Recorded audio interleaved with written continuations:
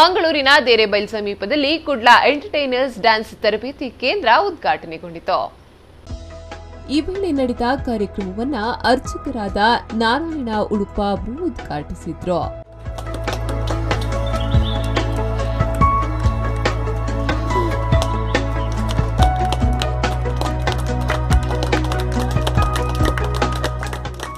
ಸಂದರ್ಭ ಸಾಮಾಜಿಕ ಕಾರ್ಯಕರ್ತರಾದ ಪ್ರಸನ್ನ ರವಿ ಅವರು ಶುಭ ಹಾರೈಸಿದ್ರು.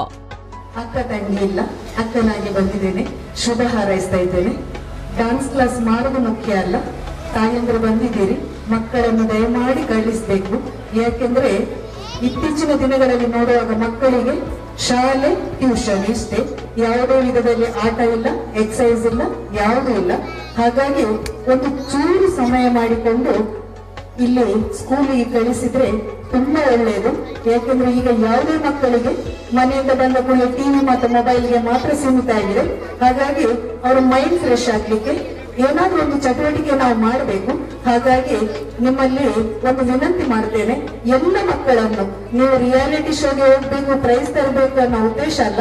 ನಮ್ಮ ಮಕ್ಕಳು ಸ್ವಲ್ಪ ಆಕ್ಟಿವ್ ಆಗ್ಲಿ, ಒಂದು ಬಾಡಿ ಎಕ್ಸಸೈಸ್ ಆಗ್ಲಿ ಹಾಗೆ ಓದಿನ ಹೊತ್ತಿಗೆ ಖಾಲಿ ಮನೆಯಲ್ಲಿ ಓದು ಒತ್ತಡ ಹಾಕುವ ಬದಲಿಗೆ ಮೈಂಡ್ ಫ್ರೆಶ್ಗಿಂತ ಡಾನ್ಸ್ ಈ ವೇಳೆ ಲಕ್ಷ್ಮಣ್ ದೇವಾಡಿಗ ಚಲನಚಿತ್ರ ನಿರ್ದೇಶಕರಾದ Maddy Manju, Harish Kunjathbail, Kudla entertainers dance ತರಬೇತಿಯ ಮಾಲಕರಾದ Sampath Mohalatha, Jyothi Praveen, Teeny Thoughts play ಸ್ಕೂಲ್ನ ಸುಮಂತ್ ಹಾಗೂ ನಯನ, ರಿವೆಂಜ್ ಕಿರುಚಿತ್ರದ ನಟ ಸಚಿನ್ ಕುಮಾರ್ ವಿರೂಪ ಕನ್ನಡ ಚಲನಚಿತ್ರದ ಸಂಕಲನಕಾರ ಅವಿನಾಶ್ ಕಾವೂರು ಸೇರಿದಂತೆ ಇನ್ನಿತರರು ಉಪಸ್ಥಿತರಿದ್ದರು.